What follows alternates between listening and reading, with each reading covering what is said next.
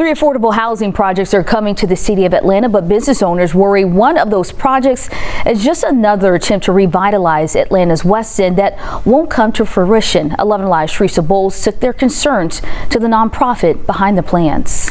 Atlanta's West End has been due for a facelift for a long time. Something might happen. The physical building being the mall takes the bad reputation. Nowadays, longtime resident Kevin says when people talk about the West End area, a historic and black neighborhood, they tend to mention crime and dilapidated buildings. And every few years, some developer tries to change things. However, longtime business owners tell me they've heard it all before and watched colleagues time and time again have to close because of false promises. If you look around, most of the stores are gone because we've been being told for years after years that you're not going to have a business to open if you don't relocate. Atlanta Urban Development CEO John Major says this time will be different. Timing is always the critical factor in any real estate development. Uh, what we have that I don't think any of the other developments have had is leadership at the caliber of Mayor Dickens. Together this week, the City of Atlanta and Atlanta Urban Development announced three new affordable housing projects, one in downtown downtown,